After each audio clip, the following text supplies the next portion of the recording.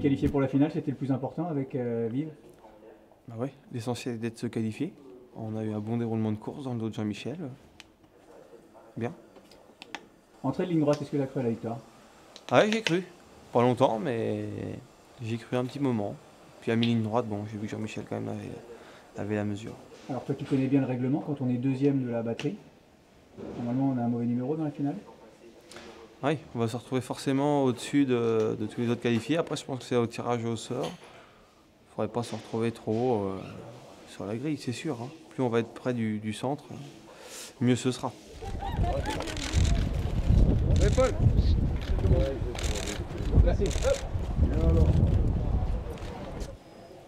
Robin, it was easy uh, tonight?